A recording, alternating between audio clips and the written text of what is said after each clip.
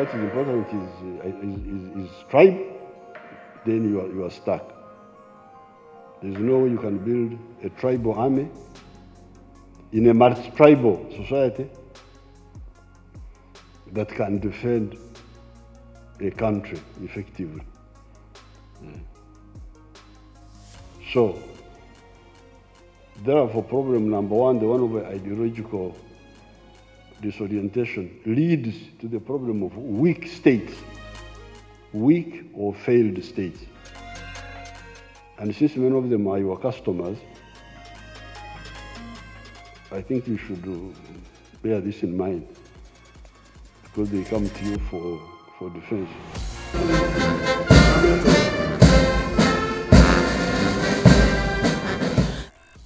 Uh-uh. Uganda will not be part of those, will never be part of those uh, failed, failed states. It, it, had, it was a failed state, by the way, by 19. Uh, right from the beginning, actually, even, if, even at independence, you could see it was. You see, for instance, at independence, if you go to the to the elections of 1962, uh, April, it also disturbs the politics. You, cannot get a party which gets majority. They couldn't get a party which could win more than 50% because the, the, the parties were, were sectarian. One party was for this religion, another one was for the other religion, another one was for the Baganda. Uh, none of them could have more than 40%. None of them. That's how they ended up forming a coalition of two fragments. By 1962, by 64, the fragments had fallen apart. So, if you don't solve the problem of ideology, then you, you, you also don't solve the problem of a capable state. A capable state with pillars that can guard uh, the country. What is more important? Interest or identity?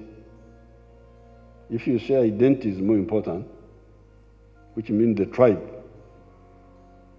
is, is more important, the religion is more important, gender is more important, then you now run into another problem. Can you build a capable state? Can you build uh, a state, the, the, the, the, army? Can you build a strong army? Because you are looking at people with the tribal binoculars. When they come, you don't see who can shoot best. You look for the one who is from your tribe. Are you going to build an army like that? Now, if you don't build an army, or you don't build uh, uh, uh, the, the, other pillars of state, the civil service, uh, the judiciary, how would you run the country? Uh, I work with the UN. You are most welcome, but I don't welcome you to defend me. I defend myself you come to build, uh, do other things, but defending, I do it myself. I've never bothered you. Please come and defend me. Because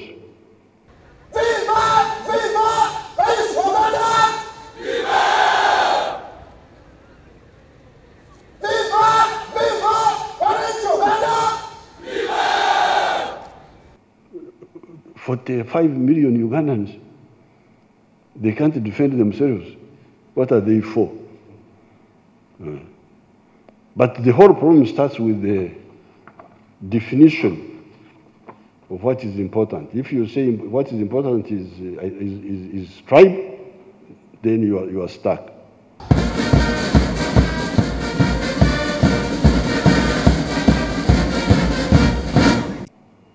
There's no way you can build a tribal army in a multi-tribal society that can defend a country effectively. because in many African uh, countries, they spend time looking at identity. Who are you? Which tribe? Which religion? Are you a man or a woman? They don't look at your interest, at, at the interests. And, this is where the national resistance movement uh, differed with the, our groups here in the 1960s, especially 1965. For them, they were talking about what tribe, uh, what religion. Are you a man or a woman? We said, but these don't answer the problem of what am I going to eat? Because I need food. I need a job. I need market for my products. So if you tell me who I am biologically or culturally, how does that solve my problem? Because I need food, I need shelter, I need a job, I need a market for my products, especially me, who is a, who is a milk producer. I want to know how many people buy my milk, not how many members of my tribe, because they don't solve my problem. So this is problem number one. And, and we are saying that you cannot solve this problem of Africa by just uh, picking one dimension and you run around with it. Then the other bottleneck was the underdevelopment of the infrastructure, uh, lack of roads, uh, lack of the, of the railway, inadequate or expensive electricity. Because the problem is that when you don't deal with those, this, the cost of production are high. High transport costs, high electricity costs, and therefore the private sector cannot make profit because the, the costs are high.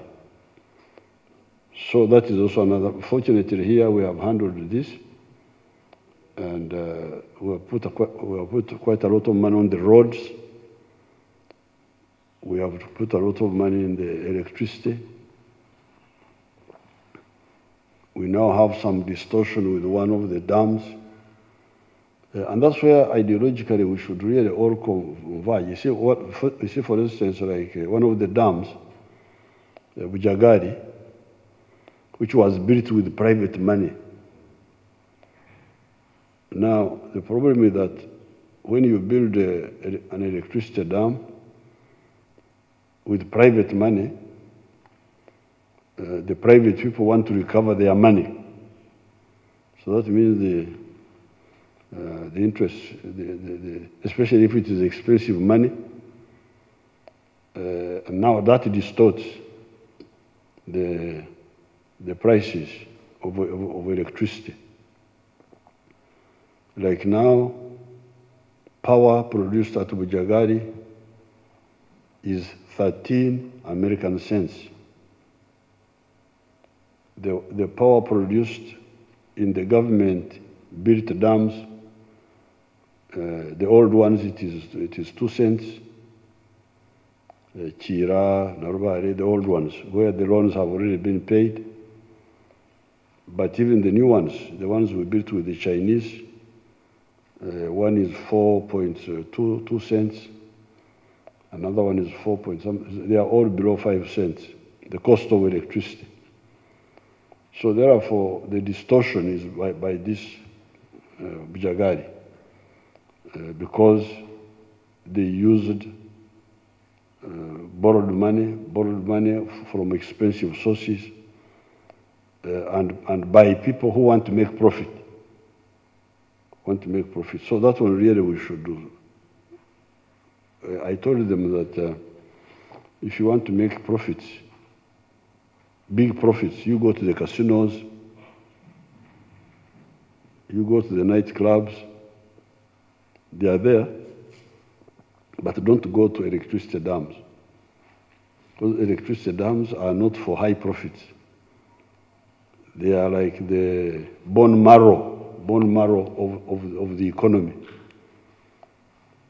Uh, we need uh, low cost money or even to be built by the government.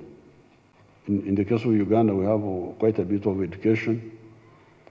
Uh, the, the literacy has gone up, but the skills, the problem are the skills now. Uh, these young people can speak uh, foreign languages, but they don't have skills. Some speak Arabic, they, they stay in the mosque the whole day talking Arabic, but uh, that doesn't solve the problem of, of skill.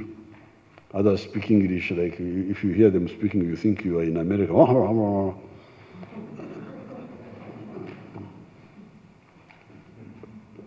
But, but please, you must, what, what, are you going to eat? What are you going to, to do?